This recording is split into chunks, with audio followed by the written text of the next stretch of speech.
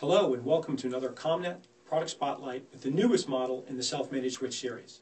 The CNGE2 FE4 series shares all the same characteristics of the rest of the self-managed switch line, which means it's a hardened product, has PoE support, it can be wall, rack, or shelf mounted with no modification, and it supports multicast with no configuration. But we've added two important features. We've added two gigabit speed SFP based uplink ports. That allows you to use either copper or fiber optic based SFPs depending on the cabling you have locally. Also, we've added two 60 watt and two 30 watt PoE ports. We've noticed a growing trend in the industry in the use of outdoor rated PTZs and IR illuminators that use well above the current 30 watt standard. So if you source the switch with an appropriately sized external power supply from ComNet, you can get maximum PoE output on all four ports simultaneously.